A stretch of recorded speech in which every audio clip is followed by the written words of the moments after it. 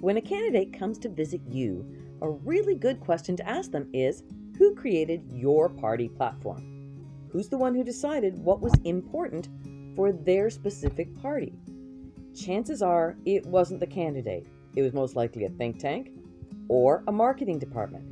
Now, if you had an independent candidate, their platform would be you. You would be the ones who would decide what's important and why it's important. You would be engaged in the process. So, this time, when it's time to vote, think about something different. Think about having a choice. Think about change. What if you had the power? What if your MLA listened to you? Think about what you can do with your vote. You can make things different. You can vote independent.